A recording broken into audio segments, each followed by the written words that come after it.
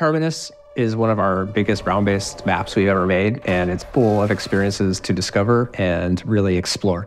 We're here to break down all the new features that are going to be coming to Black Ops 6.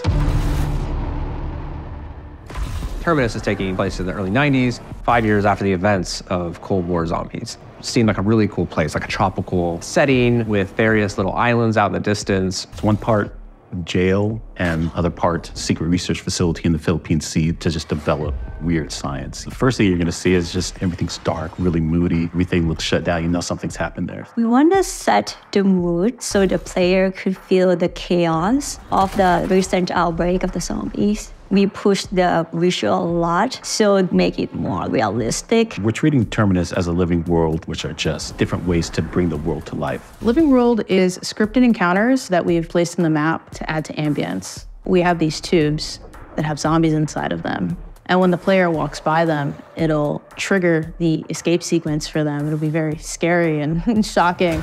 Give that feeling of, wow, this is a world that's existed prior to the player coming in. Zombies have been attacking everything everywhere.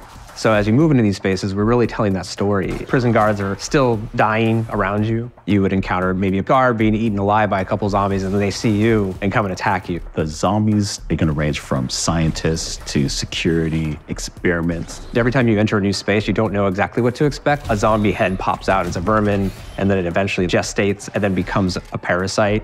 The tentacle trap is, that's just an awesome trap. The tentacle trap? Uh, they're placed over doorways. It drops down and eats up all the zombies that pass through. It's a beast of a main quest. You know, it'll use the ocean, it'll use the islands, it'll use every part of the, the map proper. It's one of the bigger maps we've created. We wanted you to really like think about how you're moving through the space. We never had a drivable vehicle. You can go drive a boat anywhere on the entire map. All that space out there that I thought was just the environment, that feeling of like, I can go anywhere. is like so exciting. In, in, true zombies fashion, you're never safe anywhere for very long. A little bit of a foreshadow to something bigger that you might encounter.